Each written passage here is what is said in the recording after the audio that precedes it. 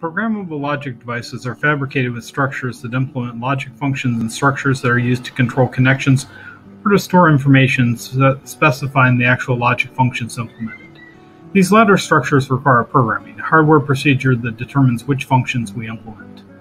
There are several different programming technologies fuses, anti fuses, mask, single bit storage element, and control of transistor switching. Fuses, anti fuses, and masks are permanent. We can't undo them in case of a mistake. Let's begin by looking at fuses. The oldest of the programming technologies include fuses and antifuses.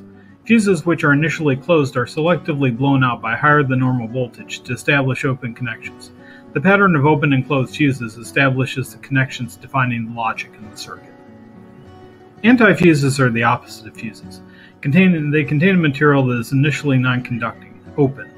Antifuses are selectively closed by applying a higher than normal voltage to provide a pattern of open and closed antifuses that define the logic. A third programming technology for controlling connections is mask programming. This is done by the semiconductor manufacturer during the last steps of the chip fabrication process. Connections are made or not made in the metal layers serving as conductors in the chip. With some older chips, you used to be able to rub off the black paint to see the structure. Hence, Congress introduced sui generis legislation to protect mask works. The fourth programming technology is the single bit storage element driving the gate of the MOS N channel transistor at the programming point.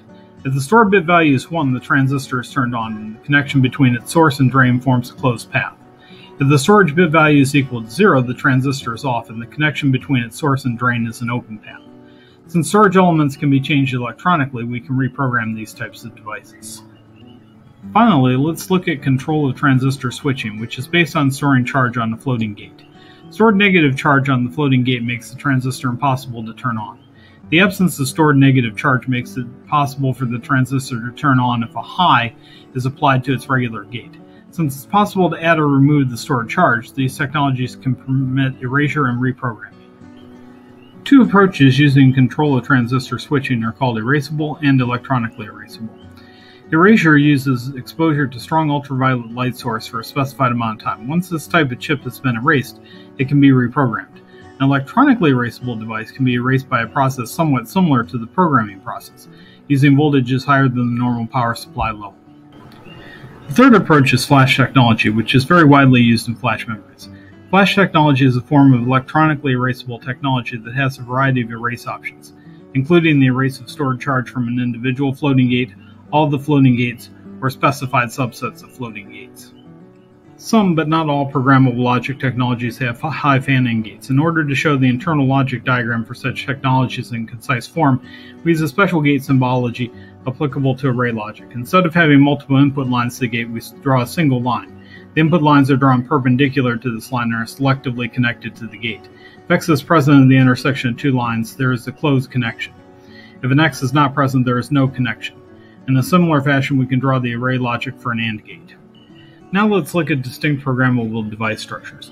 We'll describe each and indicate which of the technologies is typically used in its implementation. These type of programmable logic devices differ in the placement of programmable connections in the AND OR arrays.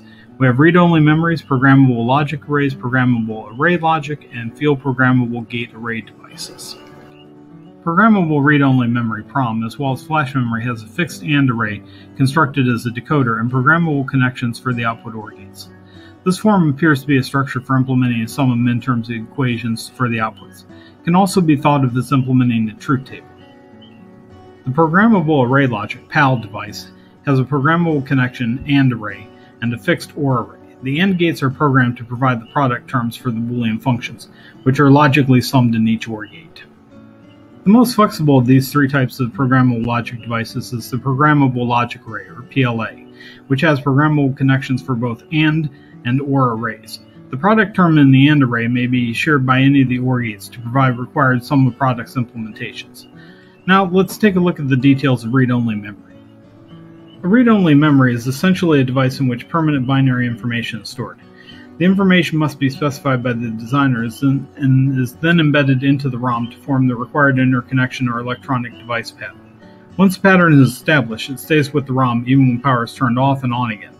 So the ROM is non-volatile. Here we see the block diagram for a ROM. The inputs provide the address of the memory, and the outputs give the data bits of the stored word that is selected by the address. Number of words in a ROM device is determined by the fact that K address input lines can specify 2 to the K words. Depending on the programming technology and approaches, read-only memories have different names. ROM, mask-programmed, PROM, fuse or anti-fuse program, EPROM, erasable floating gate programmed, and EEPROM, electronically erasable floating gate programmed, and flash memory, electronically erasable floating gate with multiple erasure and programming modes. This figure shows the internal construction of a 32 by 8 ROM. The unit consists of 32 words of 8 bits each. There are five input lines that form the binary numbers 0 through 31 for the address, which are decoded into 32 distinct outputs by means of a 5 to 32 line decoder.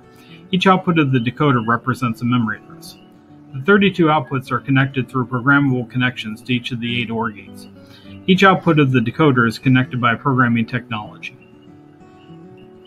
This particular ROM is programmed with the word 100-10011 in memory address 1. Since each OR gate has 32 internal programmable connections, and since there are 8 OR gates, the ROM contains 32 times 8 is 256 programmable connections. In general, a 2 to the k times n ROM will have an internal k to 2k line decoder and n OR gates. Each OR gate has two k inputs which are connected through programmable connections. ROM programming typically uses programming software that isolates the user from the details. A ROM stores computer programs, in which case the binary code produced by the usual programming tools such as compilers and assemblers is placed inside the ROM. ROM can be programmed by tools that accept inputs such as truth tables, Boolean equations, and hardware description languages. In the case of flash memory, it can also accept binary patterns representing photographs taken by a digital camera, for example. In all these cases, the input is transformed to a pattern of open and closed connections to the OR gates needed by the programming technology. Thanks so much for watching. In the companion presentation, we'll look at programmable logic arrays, programmable array logic devices, and field programmable gates.